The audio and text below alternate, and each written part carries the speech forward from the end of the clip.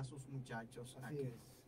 Franklin, y tras felicitar a los candidatos ganadores y los no ganadores, no hay perdedores aquí, todos son triunfadores, porque salió muy buena la prueba, tanto para la Junta, para los candidatos, para los partidos y sobre todo para la Junta Central Electoral. Fíjate que decíamos la semana pasada que esto iba a ser una prueba. Y, y vaya que prueba. Una prueba con un millón cuarenta y siete mil modelos. Más de un millón de votos en este proceso interno, las primarias del PRM, Partido Revolucionario Moderno. Eh, no sé cómo usted interpreta esto. Bueno, eso yo lo interpreto como un triunfo para el Partido Revolucionario Pero Moderno creo que, y la para el vez, país. creo que es la primera vez que en un proceso interno votan tantas personas.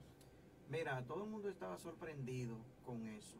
De- Por- para cualquier partido. Sí, sí, sí, la gente estaba muy emocionada.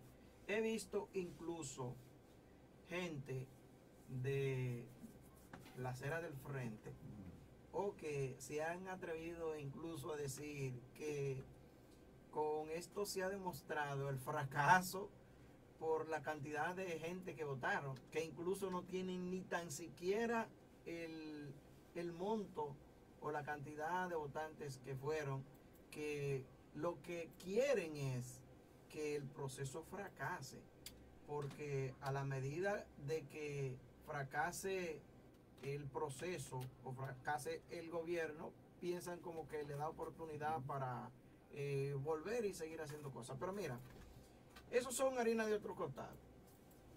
Eh, con relación a las personas que ganaron, yo quiero felicitarlos. Los que perdieron también. Pero tengo una, una recomendación específicamente. Ganó, mira, ganó Divastacio en, Ujú. en Santo Domingo.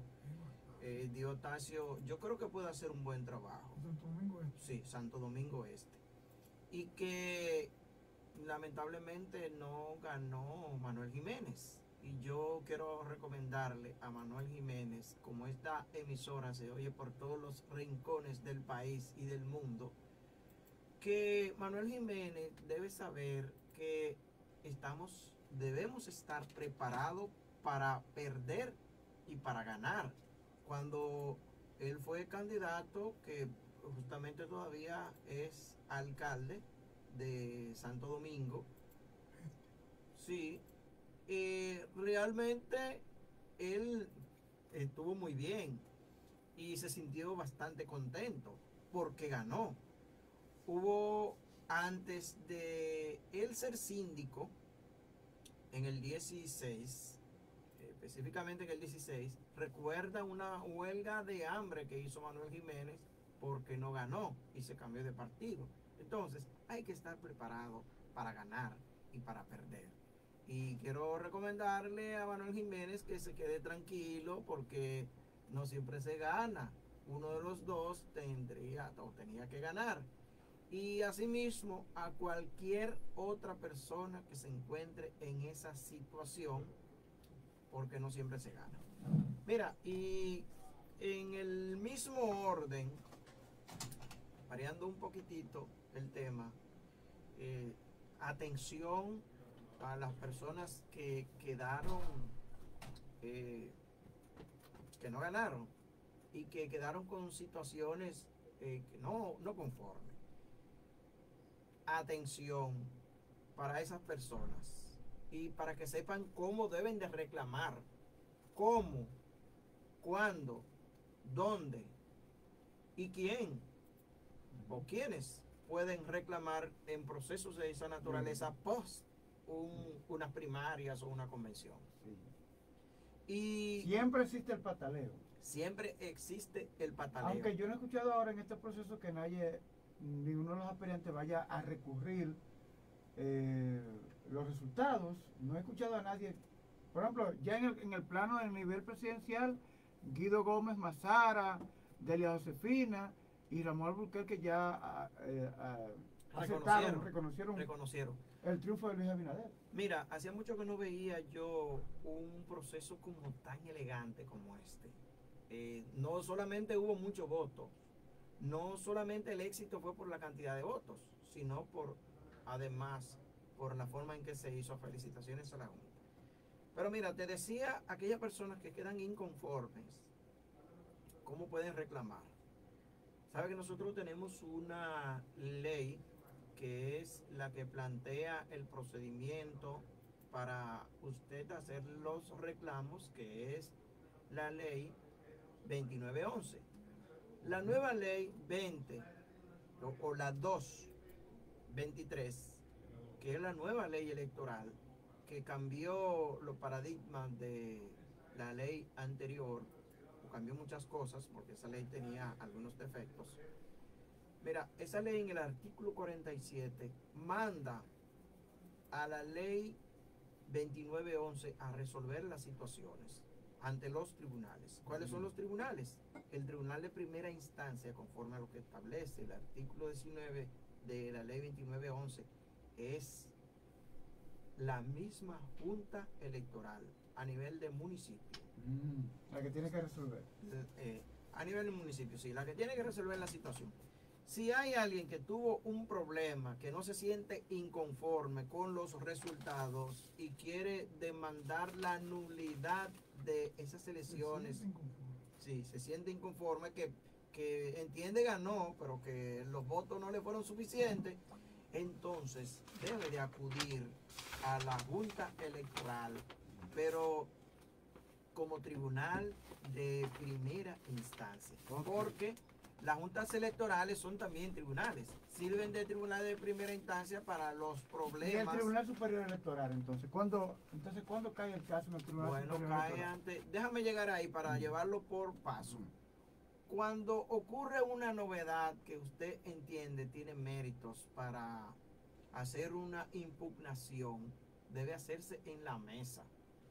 En la mesa. Y si alguien está pretendiendo impugnar unas elecciones, debe de la gente entiende, la mesa electoral, estar viendo la mesa electoral en el mismo centro de votación, ahí donde están los representantes de los diferentes partidos, eh, o si es el proceso interno, los delegados de diferentes candidatos, eh, ahí en, ese, en esa mesa. Efectivamente, tú sabes del asunto. Se hace ese reclamo ahí para que se haga contar en el acta ese día. Si no se hizo contar en esa acta, bueno, hay algunas novedades que pueden darse incluso después, eh, porque es posible que hayan secuestrado el acta, pero ya estaba firmada. Pero ya esas son otras novedades. Las, los reclamos deben hacerse dentro del plazo de las 24 horas. Cuando, ¿Cuándo comienzan a correr esas 24 horas?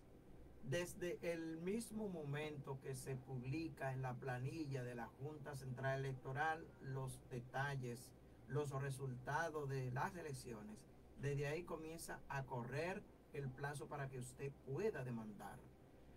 Pero no solamente en esa planilla, cuando se publica a través de los medios de comunicación a nivel nacional, ahí comienza el plazo de 24 horas para usted poder demandar esa, Revisión. sí, esa revisión, esa eh, nulidad. Y si tiene mérito, entonces usted apodera mediante una instancia que lo establece el artículo 19, 20, 21, 19 y siguiente de la ley 2911, lo apodera mediante una instancia motivada y escrita con los medios de prueba pertinentes y la somete ante la Junta Electoral del municipio. El tribunal, que son los jueces de la Junta o los miembros de la Junta Electoral, son los que se encargan de verificar si hubo alguna anomalía y pueden incluso anular eh, ese voto, un, un voto, un acta, eh, unas elecciones. Y si hay méritos, eh, se anulan. Luego, cuando se somete ante, ante la Junta Electoral, este, eh, que funge como tribunal.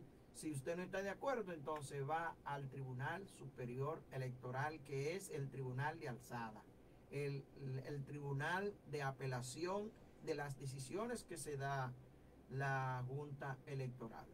Mira, la gente siempre patalea, pero a menos que no sea algo demasiado exagerado, que se note demasiado y, por supuesto, que varíen los resultados de las elecciones, no es costumbre. El paradigma de la Junta Electoral es no anular eh, esas elecciones.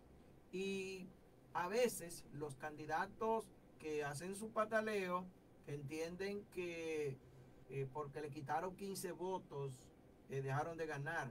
No, es que tiene que notarse, no importa que realmente usted observe que le quitaron 15 o 20 votos allí, pero que usted necesita 500 para completar. Eso no tiene, aunque realmente usted tiene derecho, usted tiene toda la libertad y de interponer cualquier acción que usted entienda pertinente, pero eso no tendrá mayores resultados.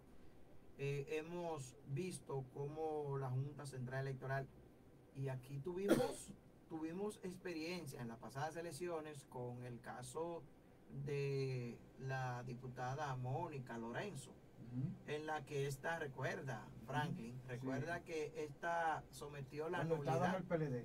Sí, cuando estaba en el PLD, demandó que se va a juramentar a propósito en, el PRM. El próximo sábado. Sí, el próximo sábado. Demandó la nulidad de 27 actas. Pero esas 27 actas que demandó fueron anuladas. Fueron anuladas porque había irregularidades. Fue enviado esto a Tribunal Superior Electoral como Tribunal de Alzada para que conociera sobre los resultados eh, dados por la Junta Electoral de la Romana y vaya sorpresa, la Junta Central Electoral ordenó el reconteo, la revisión de esas actas, pero no habían no habían condiciones para poder revisar esas actas. No pudo, no fue posible. No sé qué pasó, si desaparecieron las cajas, no era posible eh, revisar eso. Y por vía de consecuencia, la decisión que se tomó por parte de la Junta fue anular esas actas. Pero no cambió nada. Sin embargo, es posible que si se hubiese revisado algo más a fondo, los resultados hubiesen podido cambiar. Cuando se dura tanto tiempo, como duran los tribunales, y más los tribunales electorales que tienen demasiado trabajo al final de las elecciones y que un año después, eh, y eso llega al, constitucional también, que cambian los resultados. Cuando esa persona tiene un año ahí ya disfrutando, porque hay, cuando hay uno reclamando es porque hay uno que, que no le toca o se pretende que no le toque. Entonces, es ahí donde llega la justicia hasta el día. Efectivamente. Entonces, a las personas que no tuvieron los resultados esperados, que lo cojan suave.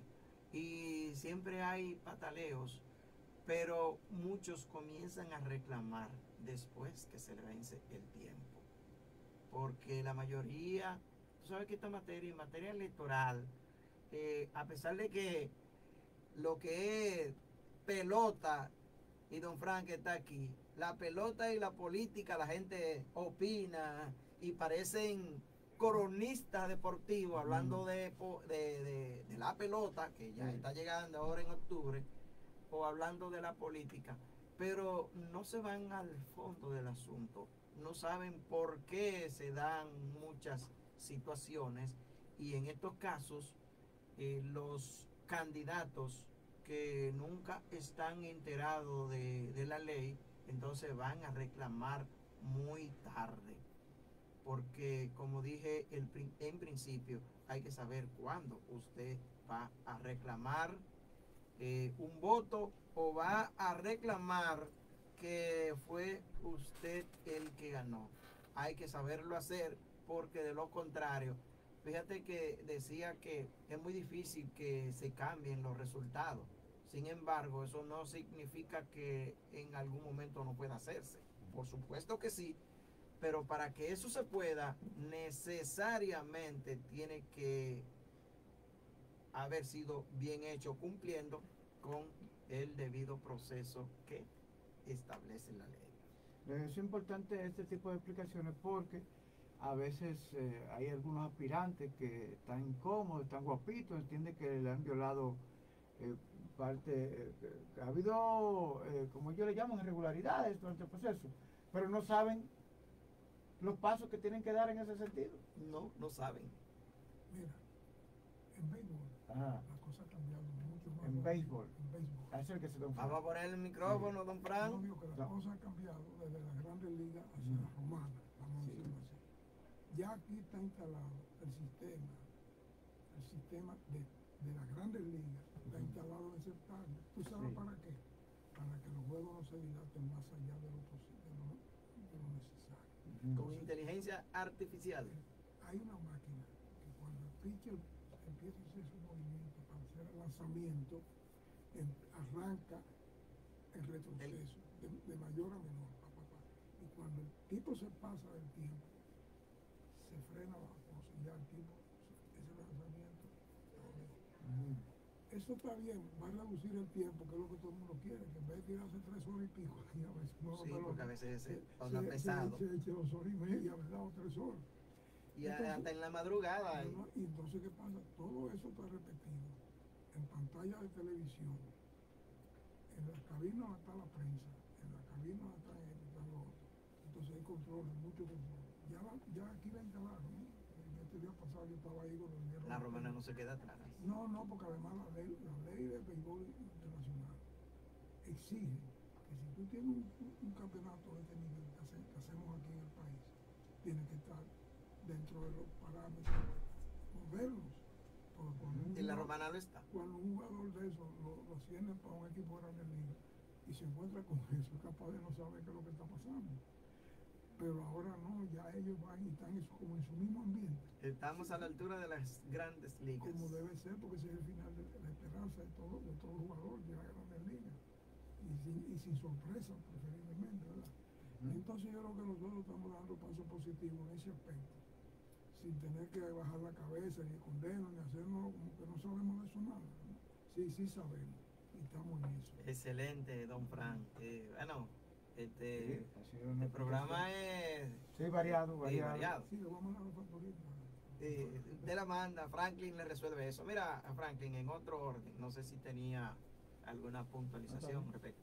En otro orden, mira, en la acostumbrada eh, mesa que hace el gobierno en el día de ayer, los lunes, los lunes, Mesa de Seguridad sí, Ciudadana, la mesa de seguridad que ciudadana reúne a los principales estamentos eh, de persecución del delito, las Fuerzas Armadas, la Policía Nacional, el Ministerio Público.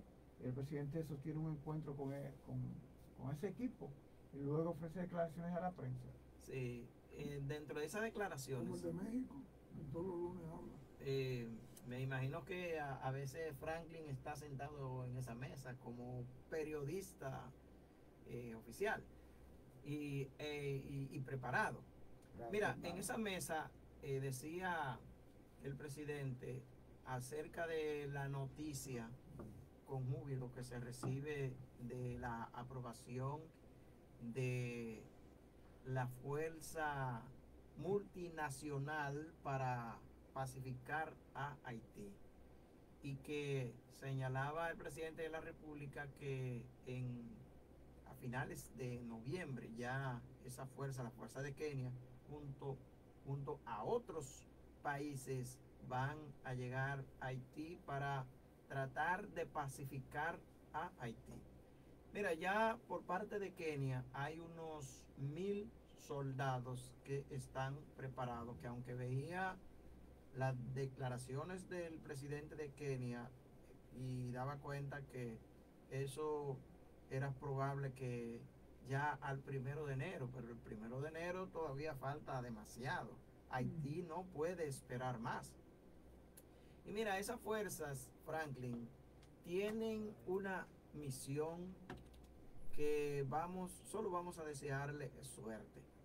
Porque tú sabes que esta misión que va y que ha sido aprobado o aprobada por el Consejo de Seguridad de la ONU, dentro de los 15 miembros permanentes, 13 votaron en favor y gracias a Dios que eso no fue bloqueado. Sin embargo, por haber sido hecho de esta naturaleza, eso no, esto no es una invasión. Cuando hay una invasión de esas que se acostumbran por países, por ejemplo en el caso de Ucrania, Estados Unidos, que también ha invadido muchas naciones, esta no es una invasión, sino esta es una fuerza pacificadora que va con la finalidad de organizar a Haití y que para ello tiene el plazo de un año, tiempo que no es suficiente. Para organizar eso, mira, 10 años no son suficientes para eh, que esa fuerza pueda preparar lo que eh, está pasando en Haití. En Haití falta de todo, no hay institucionalidad, hay mucha hambre, mucha hambre y mucha delincuencia. Y los soldados que van a llegar a Kenia van a tener que utilizar el yugo, la fuerza, el monopolio de la No, violencia. Y el tema de la inseguridad para los propios, eh, las propias tropas que van a llegar a Haití. Es decir, son bandas armadas que, que- controlan gran parte del territorio haitiano. Eh, claro, las autoridades actuales saben dónde están las madrigueras, es decir, dónde ellos se esconden, dónde eh, son los centros de operación, pero no tienen la capacidad operativa para poder penetrar a, a esas madrigueras, a poder dar un- un fuerte golpe a las bandas.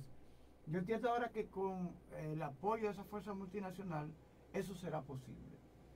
Pero tienen claro que entregarle la ubicación de esas madrigueras a la fuerza multinacional que va a ocupar Haití. Efectivamente, mira, y realmente, aunque son fuerzas pacificadoras, pero van a tener que utilizar el monopolio de la violencia para poder pacificar Haití. ¿Tú te imaginas que ellos van a poder organizar Haití y resolver eso con oraciones? No, es No. con tiro, es con tiro que lo van a tener que resolver y para ello se van a tener que perder mucho- muchas cabezas, comenzando con la de los delincuentes que están controlando y que han tirado al piso la institucionalidad. Y tú solamente tienes que ver el grado de, de delincuencia que hay aquí en la República Dominicana con un gobierno estable, con, con instituciones, con un sistema judicial que funciona y funcionan las, la- las instituciones, los órganos del Estado. Y, y fíjate el alto índice de, de delincuencia que hay en la República Dominicana. Compara eso con Haití. Sabrá la lucha que deberá tener Haití y esas fuerzas multilaterales que llegan a ese país para organizarlo. Le vamos a desear suerte. Pero para ello tienen que darle libertad, porque las instrucciones que se le ha dado y la resolución del Consejo de Seguridad es con el propósito de, de pacificar Haití con no con violencia. Eh, si llega, si llegare a ocurrir y que tengan la necesidad de utilizar la fuerza, utilizarla, bueno, porque ningún Estado puede eh, sentirse atado de brazos para usar la fuerza cuando la tiene que usar, porque entonces la delincuencia se aprovecha. El monopolio de la fuerza y de la violencia que la tiene cualquier Estado debe usarla en el momento que sea necesario. Y en este momento va a ser obligatorio que que se use el monopolio de la fuerza para poder organizar esas bandas, o no organizarlas, sino hacerlas desaparecer y que van a morir muchos, comenzando con ese barbecue que sus días, me imagino yo, están Uno de los contados. principales jefes de bandas. Sí, y ese señor está preparado y tiene mejores, eh, mejores hombres eh, armados que la misma policía y, ahí está la muestra. Ojalá que esta fuerza multilateral y que lleva recursos demasiado grandes, porque se necesita mucho dinero para poder mantener por tanto tiempo fuerzas de esa naturaleza, pero para poder organizar, por ejemplo, las elecciones de Haití, eh, se necesita eh, mucho tiempo, mucho espacio para consolidar al gobierno que llegue.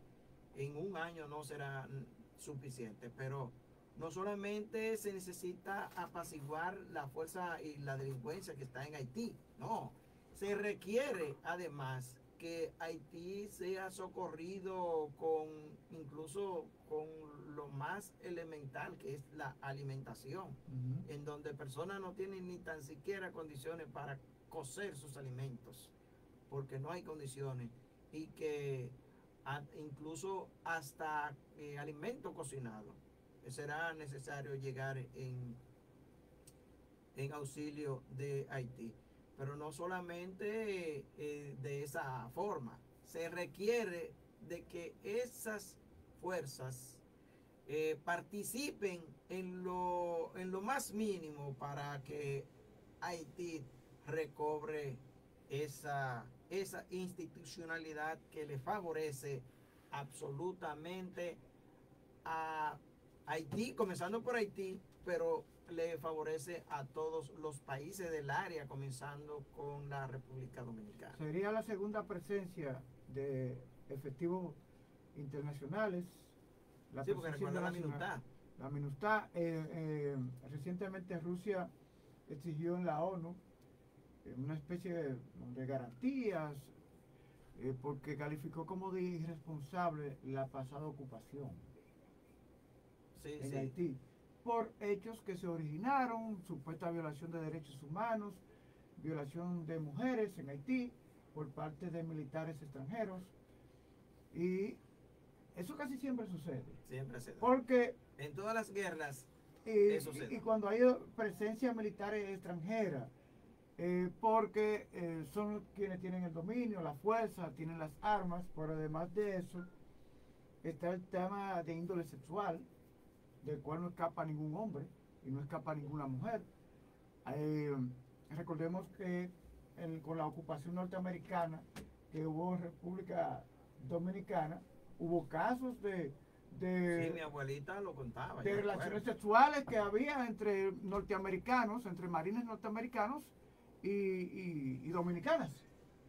Sí, sí. Por la buena o por la mala. No, el, caso más el caso más reciente tenemos en Rusia. Si tú eh, investiga y comienza a ver videos y muchas cosas de las que han pasado en la guerra de Ucrania y Rusia, eso es apoteósico, en la que siempre esos elementos están presentes. Pero, tal y como tú decías, aquí se van a reclamar muchas cosas. Tú verás los organismos internacionales y de derechos humanos reclamando reclamando los derechos humanos en Haití, porque para que se pueda someter esa nación al orden, tiene que ser con, eh, con la desaparición de mucha gente que, que, van, a, que van a desaparecer eh, por la naturaleza de, del conflicto. Y tuviera mucha gente reclamando eh, los derechos fundamentales para esas personas que entienden ellos que le, le están violando sus derechos fundamentales. Son las 8 de la mañana con 40 minutos. Nos vamos a una pausa. Este es el desayuno musical, su compañero agradable de cada mañana.